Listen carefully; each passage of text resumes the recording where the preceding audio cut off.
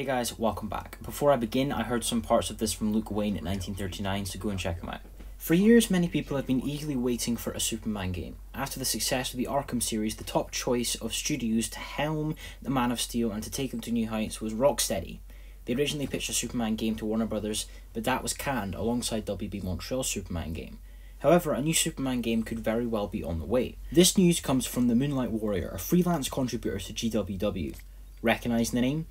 GWW reported on the DC fandom event that would be happening on August 22nd, weeks before it was officially announced. They got the date right, the time span of the event right, and even reported that the new Batman game would be revealed there. So this source, Moonlight Warrior, is reliable. He has reliable sources. However, obviously take everything with a grain of salt. Nothing has been confirmed by WB as of yet. So he tweeted this, and I quote, Don't be shocked if you see a Superman game within the next one to two years. Here, he definitely is teasing that a new Superman game is in the works, and we will be seeing it within the next one to two years.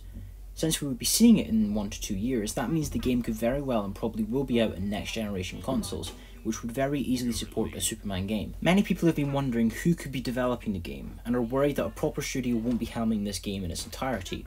He then said this From what I've heard, it's being made by a proper studio.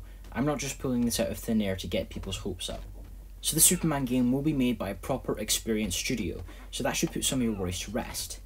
He also says he is not pulling this out of thin air, so he has heard something concrete to do with the new Superman game. And to seal the deal, James Sigfield liked this post, suggesting to me that he also knows of this game and knows it is coming very soon. We have talked about James Sigfield a lot on this channel in the past, and we know he is very reliable, so him being a part of this whole thread in some form of fashion does mean something big. There have been rumours circulating the past couple of weeks that WB Montreal would be developing a Superman game, as they saw how Spider Man worked out and wanted to give the project another shot. This could very well be the truth, as they are still hiring loads of developers for the second game, and, it, and their second game is at least one to two years off at best, just like Moonlight Warrior said the Superman game would be. WB Montreal are experienced and a proper studio, so if they were making a Superman game, I wouldn't be surprised. And I don't want to raise your expectations, but I do believe this to be true. The source is reliable and has support from other sources from GWW, such as James Sigfield.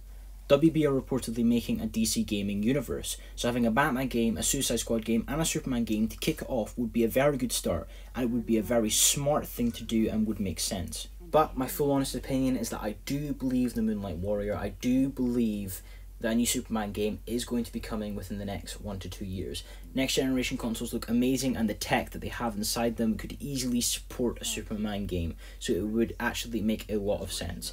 And it would make sense that WB Montreal would be developing this new Superman game. They have two new DC games in the pipeline and in development. The first is the Batman game, which we know about, and the second we do not know about yet. It has been rumoured to be Superman in the past from some credible sources, but none of those were really brought to light until now. So I guess Superman is a very big possibility for WB Montreal's second project.